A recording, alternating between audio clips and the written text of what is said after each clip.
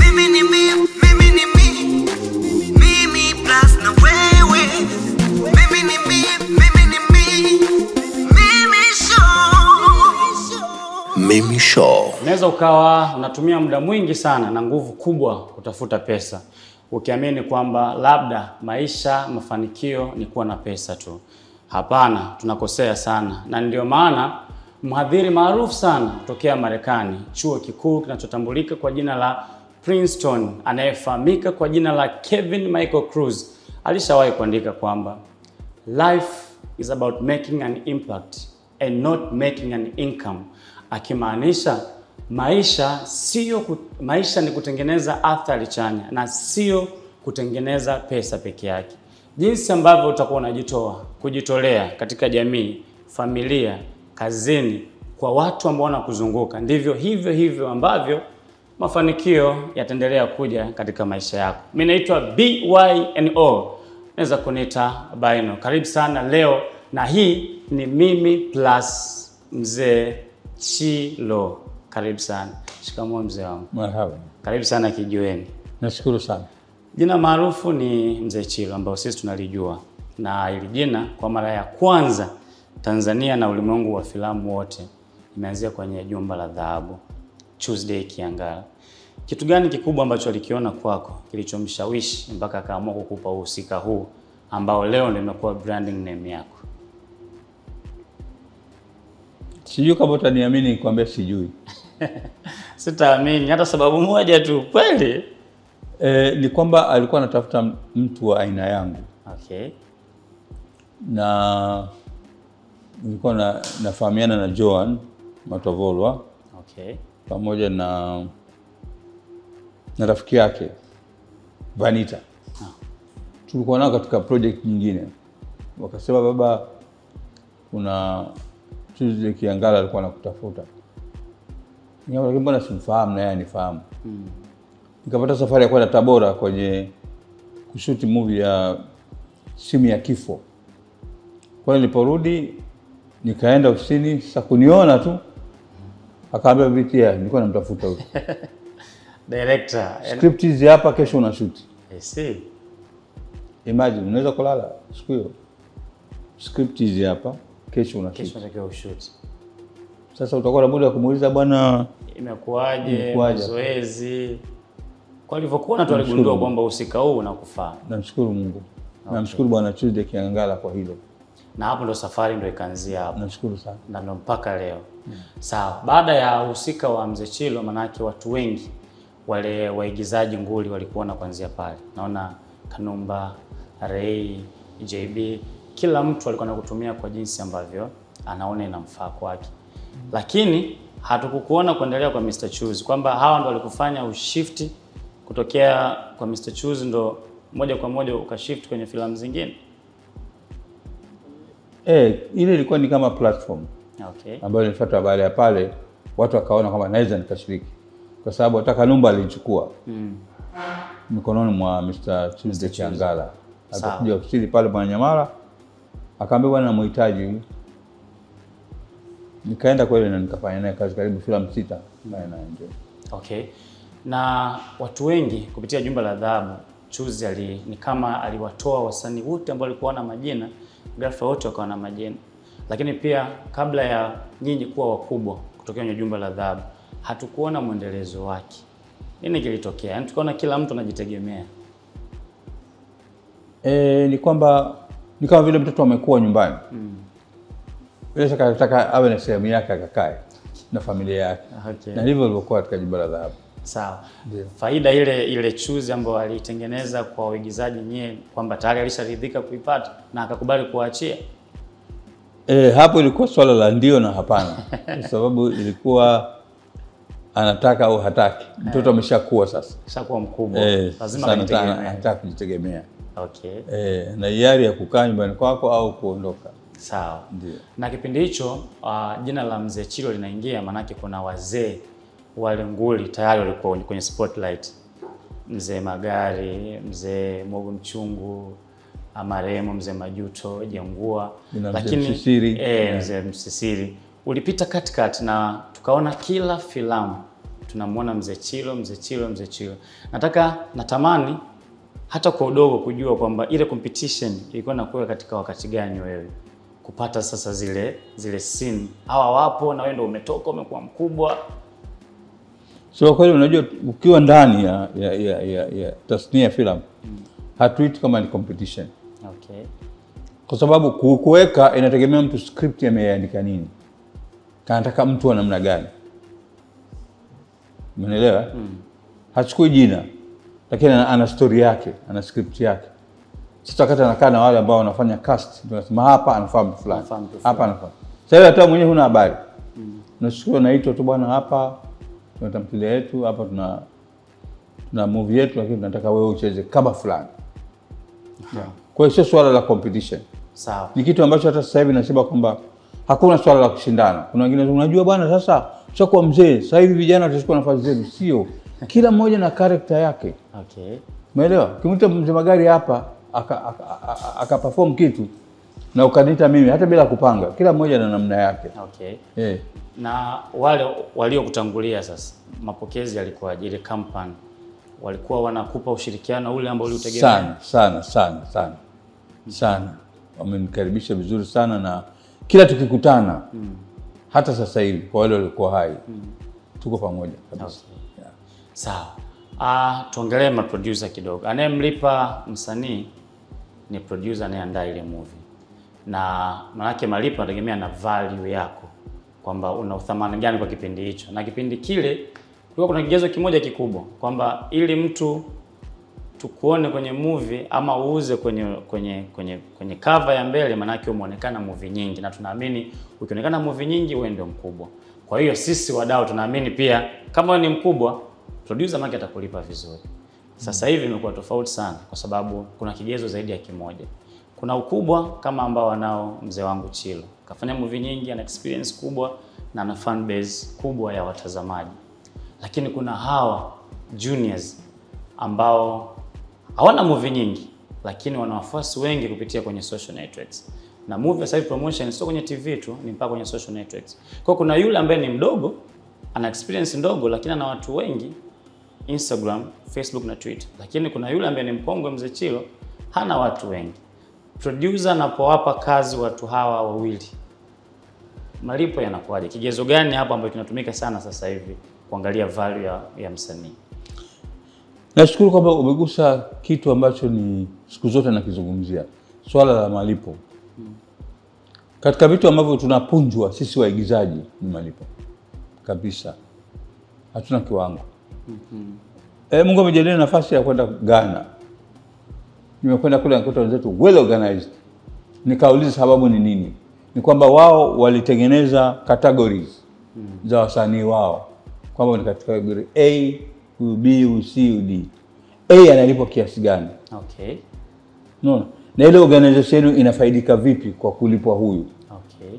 na serikali inafaidika vipi?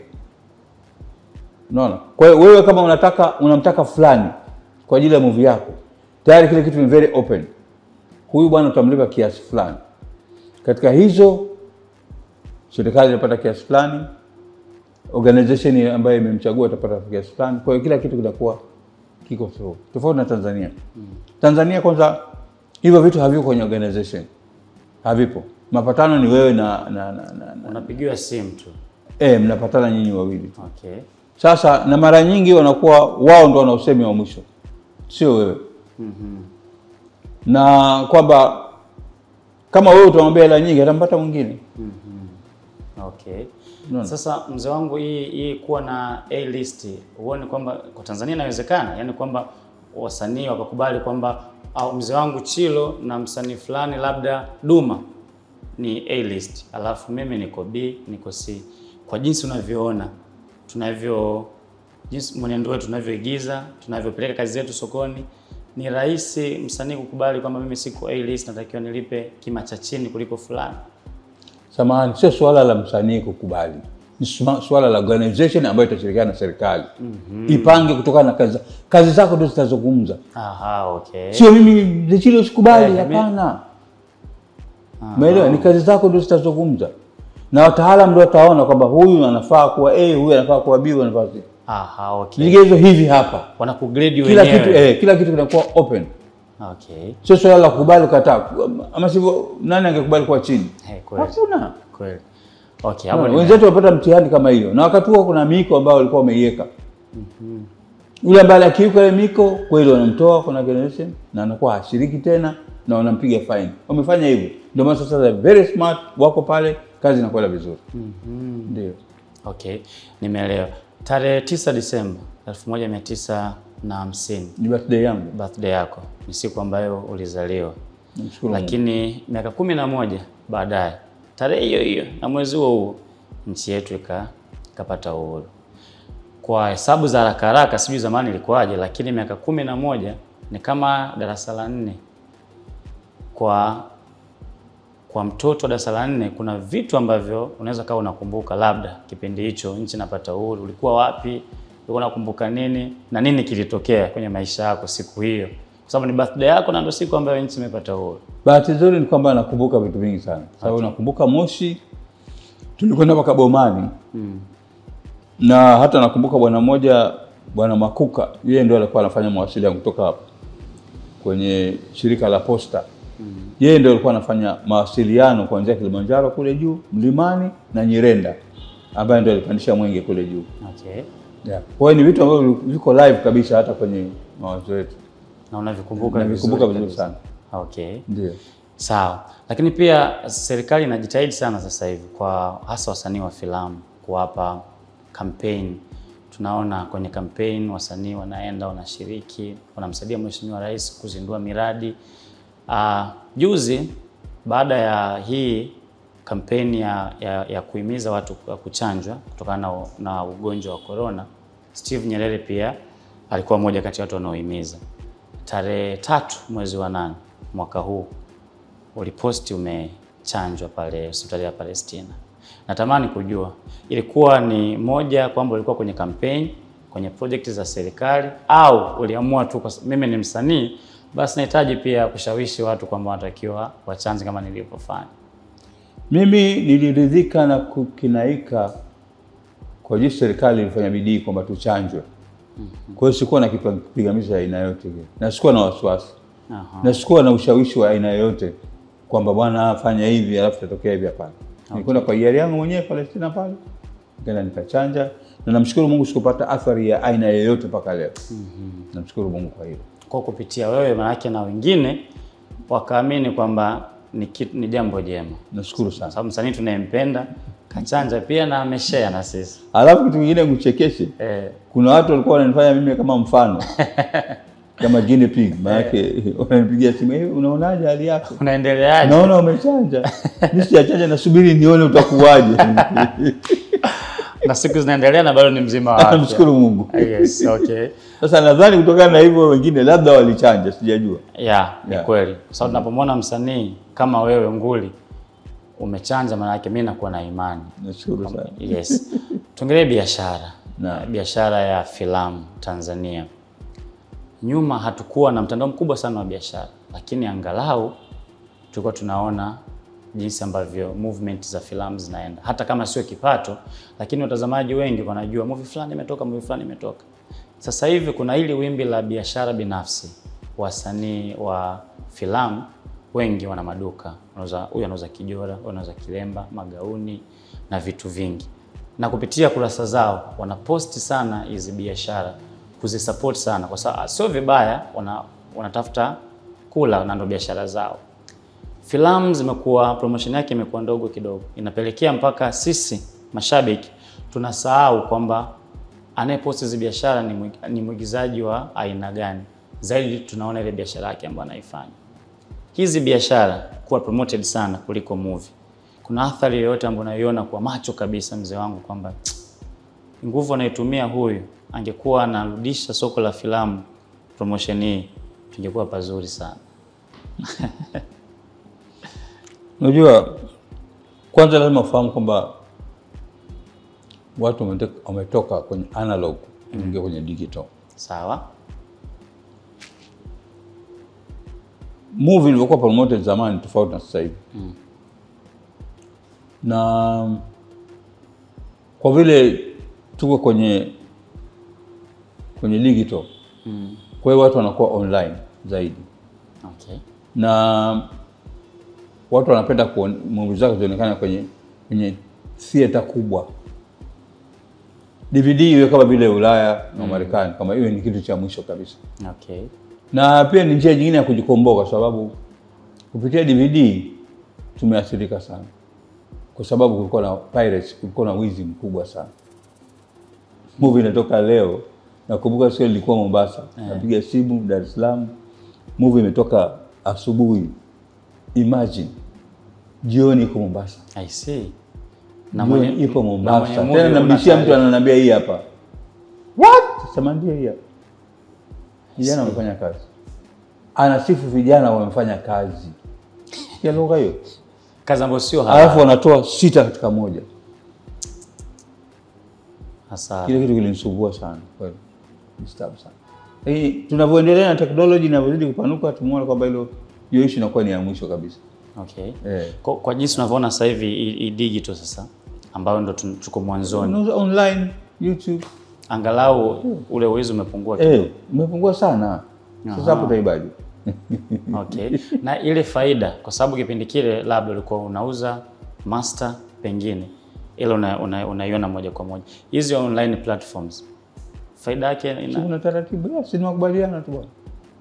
Eh, makubaliano. kwa ni angalau sana swala la hawa wasanii kwamba wakawa wana promote bidhaa zao zaidi mm. ni kutokana na kwamba wao ni maarufu, ni maarufu, sio? mm. Kwa hiyo ungependa kununua kitu ambacho anauza fulani ambaye ni msanii na unapenda kwenda kwenye kurasa zake, yes, they sell it.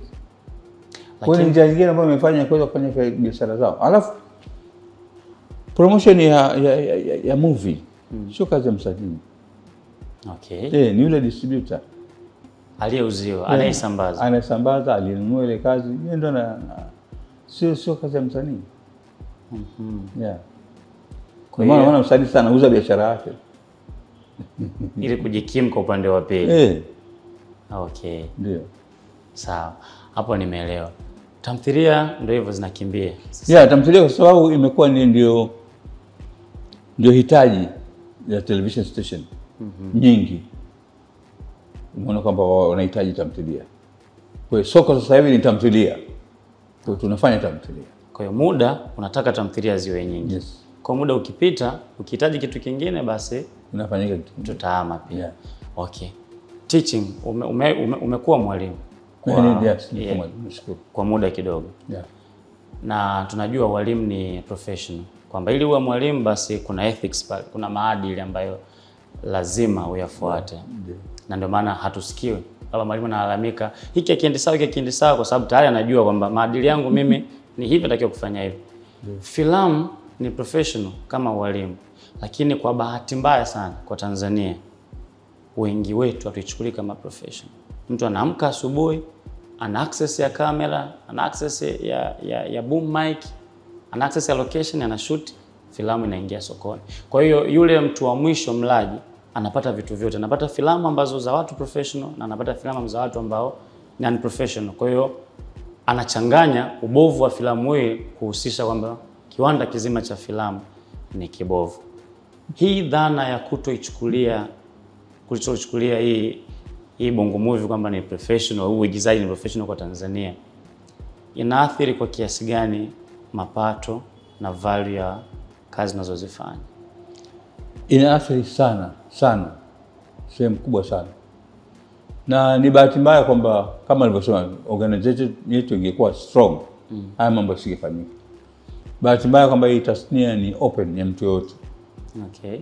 wacheza mpira, wacheza mziki, watu wa barabarani na wapi, kama ulivyosema, mtu awe na kamera yake tu mm. tayari inaharibu. Lakini wakati huo e, hawa wanaodhania kwamba yani profession hii ya, ya, ya, ya, ya filamu ni mbaya, hizo mm. ni fikira zao, sababu hakuna kila kitu kizuri,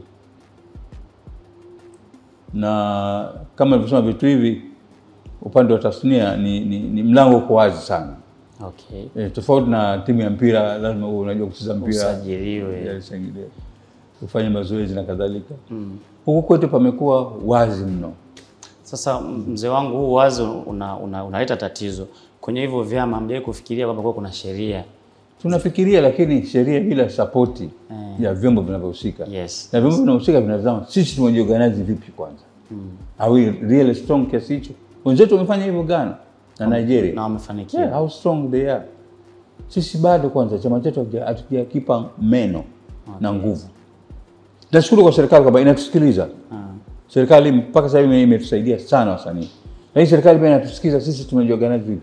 Nini support ambayo tunataka kwenye serikali juu swala hili? Upo Okay. kweli, tumefikia katika steji nzuri kwa sababu ule umoja wetu tunasikizana, tunafahamiana Okay. na tunashirikiana katika mambo mengi sana. Hilo ni jambo la kushukuru sana. Okay. Yeah. Lakini bado ni kama vile mtoto alizaliwa juzi Eh, kwanza anaanza kutembea, bado hajakomaa. Yeah. Mwisho wa siku kila kitu kitakuwa sawa. anatambaa yeah. Tunasubiri sana, tunaliombea hilo. na tuna tuna matumaini sana juu ya film board. Okay. Film board sasa hivi ni tofauti na nyuma. Film board sasa hivi practically wanasikiliza nini wasanii wanataka, Wanataka na nini wanatekeleza. wanataka, yes. Okay. Na wakati wanajaribu njia nyingi sana kutoa miundo mingi ya miundo miundo mbinu Eh, miundo mbinu. miundo mbinu nyingi ya aina nyingi ili kuwafanya wasanii waweze kufanya kazi zao vizuri. Aha. Ndio maana nakutana nao, hata hii tuzo waliosema juzi na kadhalika, ni kwamba wao ndio wameanzisha. Okay. Ina maana serikali iko pamoja na sisi, imetokea daraja la kuweza kupita kwenda serikalini. Sawa. Yeah. Na hii hapo kwenye serikali. Na hii wasanii kuchukuliwa, yani wasanii wa filamu kama jinsi ambavyo Chikoka nadhani alivyopata nafasi ya kuwa DC eh, mkuu wa wilaya mkuu wa wilaya. Hii msanii kuchukuliwa kwenda kuhudumia watu kupitia siasa hai- haipunguzi makali yoyote ya filamu, kwamba watu sasa wote kwamba na mimi natakiwa ni dina na mambo ya siasa ili nipate uteuzi. Haipunguzi kasi ya maendeleo. na uchaguzi haupiti hivyo pia. Hiyo kumchagua mpaka anakuwa mkuu wa wilaya haikutokana tu kwamba yeye ni msanii, Okay. amesoma. Wanaangalia qualification, serikali wanaangalia hivyo vitu kwanza, sio swala la fulani anajulikana basi awe ndio. Hapana, na hilo alimfanya mtu akawa mwanasiasa. Upo wapo ambao hawakuwa wanasiasa kabisa, lakini wamechaguliwa kutokana na kazi unazofanya, kutokana na qualification unazokuwa nazo, kutokana na imani ya kiongozi kuona huyu Anaweza. nikimweka hapa ataweza, huyu akimweka hapa anaweza. Okay. Eh, Ndio maana tunaomba wale ambao wamechaguliwa kupitia sanaa, tafadhali usituangushe, wafanye kazi vizuri sana. Tuna mfano wa Jokate Eh, Jokate yes. Ana support sana waigizaji na anafanya kazi vizuri Yes. yes, anafanya vizuri. Sasa tunaye Simalenga mwingine Yeah. yuko huko. Wako wengi, list ni ndefu sasa. Okay. Yeah. Sawa. Ah, Pilipili. Pilipili wanafanya vizuri sana sasa hivi. Nashukuru. Nadhani ni moja kati ya mifano ya kuigwa. Anafanya dubbing filamu za za Kihindi ambazo zina wapenzi wengi sana Za Kiarabu pia Yes, filamu nyingi na tunasikia japo hatuna uhakika kwa sababu tuko wote hapa, basi tutapata taarifa rasmi kwamba katika yote yanayoendelea basi kwenye kabineti mle ndani mzee Chilo anahusika kwa namna moja ama nyingine. Tunatamani sana kujua kwamba ni dereva ile gurudumu ambao sisi tunaliona huko nje kwamba gari limenyoka na liko sawa. Mzee Chilo ni mshauri sio dereva. Okay. Yeah. Ni mshauri tu, anapohitajika kushauri jambo anafanya. Otherwise wao ni, ni watu ambao wamejipanga vizuri sana. Mm. Pilipili kazi yake amefanya siku nyingi na anajua anafanya nini. Yes. Okay. Yeah. Wewe unapata muda wa kusikiliza mziki kidogo? Eh, sio sana. Sio sana, Na muda mdogo sana. muda mdogo. Kuna msanii yeyote tanikugombanisha ambaye labda una, mimi, mimi naogopa naogopa kwa sababu wote ni wanangu. Okay. Wote ni vijana wangu. Sasa sitaki nikaharibu CV yangu. Kuna yule ambaye ukimsikiza mpaka moyo wenyewe unaona "Da, huyu wote tu. sawa. Na kwenye filamu Usiniponze. na kwenye filamu ah, machipukizi sasa, yule ambaye unaona huyu kijana akifika umri kama wangu atakuwa akafanya vitu vingi sana, kwa sababu ana uwezo mkubwa sana. Tuna tun- hatuwezi kusema ni bahati mbaya, lakini labda Mungu aliamua hivyo. Miaka arobaini na nane arobaini na tisa nadhani ndo umeingia kwenye game kawa mkubwa zaidi, yani tunaweza kukujua tayari umeshakuwa umeshakuwa mzee Chilo. Sasa kuna yule kijana ambaye unamuona kwamba huyu akifika miaka yangu ambayo mimi nilitambulika atafanya wanda zaidi ya haya. Nawaambia vijana wote. Hata mmoja tu Nawaambia vijana wote wa hii wote. Tafadhali sana. Mimi ni mzee wa vijana wote. sana, wote huwa unawashauri Wote wanapotaka ushauri mlango uko wazi na wote unaombea mema. kabisa. Na wote- tena wao zaidi yangu. Sawa. E, jambo la kwanza ni ni muumba aliyetuumba. Tukaweza kuwa katika katika jambo hili ambalo tunamshukuru sana. La pili ni ukipenda kuwa kwenye tasnia hii ni kitu ambacho ukipende kutoka kwenye unahitaji uvungu Uvungu wa moyo wako. Na uwe tayari kujitolea, kwa sababu mnapoanza mwanzo sio swala la malipo, ni swala la kufanya ile kazi uliopewa, kwamba hii nataka kazi niifanye. Tena kwa